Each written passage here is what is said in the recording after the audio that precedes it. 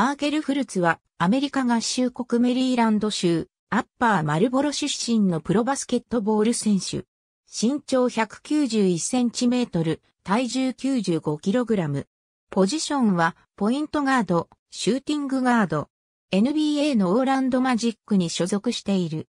メリーランド州ハイアッツビルのデマーサカソリックハイスクールでプレーし、2016年の U-18 フィバアメリカの金メダル獲得チャンピオンシップチームの一員となり、トーナメント MVP を獲得するほか、2016年にはマクダナルズオールアメリカンにもイーストチームで出場した。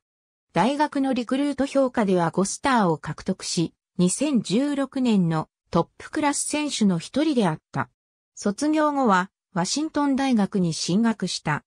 2016年11月3日、西ワシントン大とのエキシビション戦で、ワシントン大学ハスキーズのユニフォームでベンチから初登場し、14分、7リバウンド、5アシスト、3ターンオーバーの成績を残した。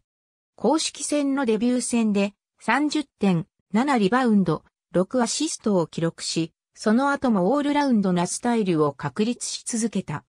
1994から95シーズンのラドレル、ホワイトヘッド以来となる、ルーキーシーズンに1試合平均、20ポイント、5リバウンド、5アシストを記録した。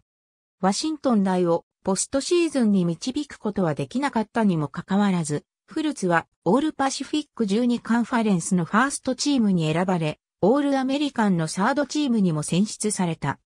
ワシントンで1シーズンを終えた後、2017年の NBA ドラフトにアーリーエントリーすることを発表した。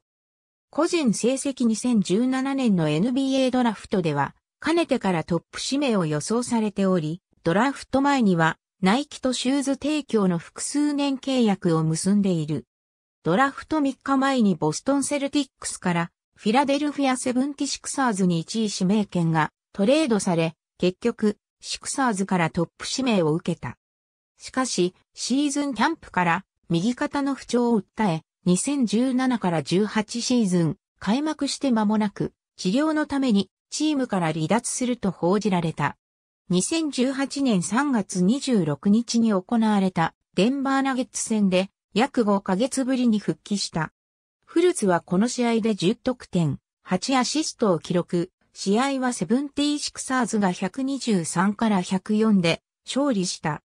4月11日のセブンティーシクサーズが130から95で勝利したミルウォーキーバックス戦でキャリア初のトリプルダブルとなる13得点、10リバウンド、10アシストを記録した。また、NBA 史上最年少でのトリプルダブル達成ともなった。2018から19シーズンも開幕から不調が続き、体の痛みを抱えながらのプレーとなり、11月に入りミネソタティンバーウルブズとのトレードにより、ジミー・バトラーが加入すると、スターターの座を奪われる形となった。痛みを解明するため複数の専門家のもとを訪れ、胸郭出口症候群と診断された。これによりフルツは NBA2 年目のシーズンも無期限離脱となった。